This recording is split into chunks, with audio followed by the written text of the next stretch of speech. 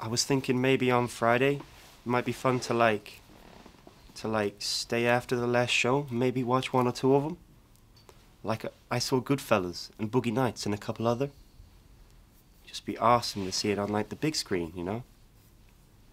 I only saw Goodfellas on my computer, which is like pretty blasphemous when you think about it.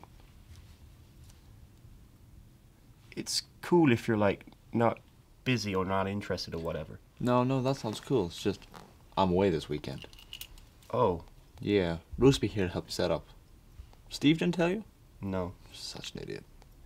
Well, yeah, it's okay with two people. Rose come in early and help set up box office and stuff, and then you'll do cleanup by yourself.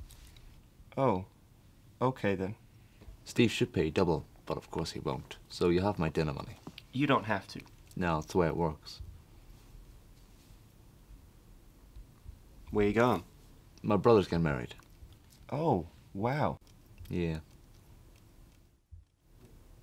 It's in Connecticut, outside Bridgeport. Congratulations. Thanks.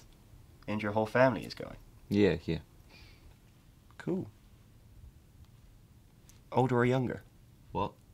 Older or younger? Oh, older. He's 39.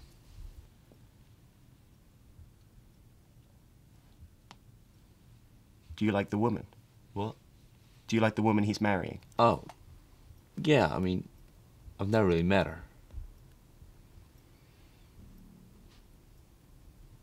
What's your brother's name? Jesse. He's retarded. Do you mean like. Like the actual definition of the word.